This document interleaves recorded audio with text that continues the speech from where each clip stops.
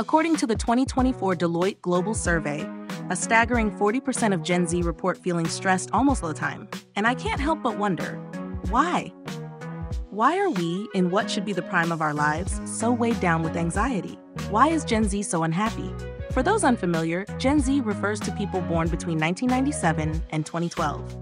We've grown up surrounded by technology. Computers, smartphones, and social media have been part of our lives from the start.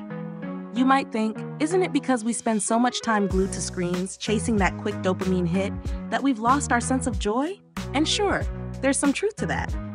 Many of us are caught in a cycle of digital addiction. Some spend over 10 hours a day on phones, video games, or social media, seeking a quick escape from reality. So, that's it? Can we blame all our unhappiness on Gen Z for being glued to that damn phone? Maybe we should look past the surface and see what kind of reality we're actually trying to escape.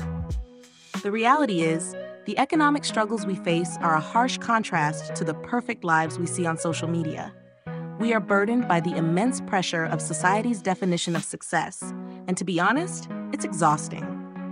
Global economic instability, coupled with the rise of automation and artificial intelligence, has made many traditional jobs more short term, unstable, and lacking in security. We are forced to navigate a more flexible yet riskier job market, and this uncertainty only adds to our anxiety. Although our generation earns more in the early stages of our careers than previous generations at the same age, it's nowhere near enough to keep up with the skyrocketing cost of living. Our wages are completely devoured by exorbitant tuition fees, medical expenses, and daily costs, especially housing costs. Just think about it housing prices have doubled in major cities worldwide, while wages haven't kept up, making homeownership nearly impossible. Even if we manage to buy a house, it's usually in remote areas, with mortgage payments far heavier than what our parents had to bear. For those renting, it's even worse rents rise every year, making it hard to make ends meet, let alone save. This pressure makes it feel like no matter how hard we try, we can't escape the financial burden. But I believe there is still hope.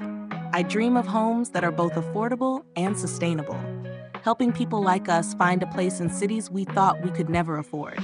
Homes that can be built quickly, offering quality and affordability so we can enter the housing market sooner. These homes wouldn't just ease our financial burdens, they'd give us the sense of security we so desperately need.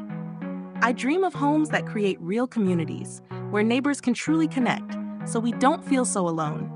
Homes that provide not only shelter, but emotional support, meeting our needs both physically and mentally. We feel you, people. Gen Z is already facing a turbulent world, and we need something stable to hold on to, something that offers us a sense of security. Let's hope that the homes we dream of will soon become a reality. If you're feeling this video, smash that like button, hit subscribe, and share it with your squad.